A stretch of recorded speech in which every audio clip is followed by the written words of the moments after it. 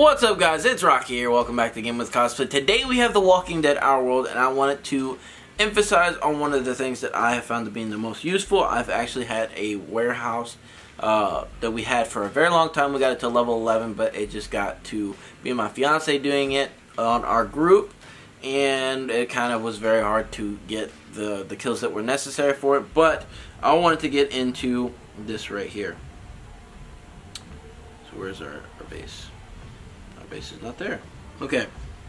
So the thing that I want to emphasize for you guys to make a good amount of progress and is going to be the most useful is definitely maxing out the amount of coins you get for sure 100% that's what you're going to be needing more anyways you'll be able to get the cards you know it's definitely going to help if you do the armory or safe house and stuff like that but I think coins are going to be the most useful because you like if you, when you do infestations or you do regular battles you will be getting character cards anyways.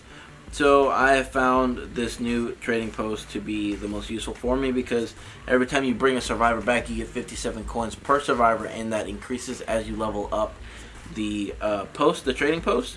So I recommend doing that. That is the number one helpful tip that I can give you there. And yeah, I, I wanted to do an update video on also doing on our world.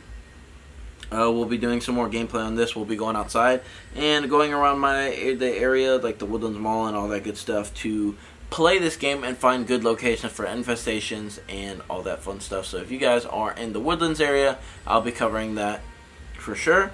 And some helpful tips and stuff like that. So if you guys have any questions on tips on what you think you should do in The Walking Dead, our world, what characters you should focus on, and all that stuff. You guys will be seeing more content on that, on character specifics and what you want to use them for, for sure, because this is something I'm knowledgeable in and have don't have to study right now because I've already done my study and I've already picked out my things that I like from each character and yeah so you guys will be seeing more on that soon just wanted to touch up on the trading post because that has just been the newest thing that I've come up with that's going to be the most beneficial for new players so, if you guys enjoyed today's video, make sure you like, subscribe, and favorite. I know it's a short one, but we'll get more into that. I just wanted to do a quick update on this game.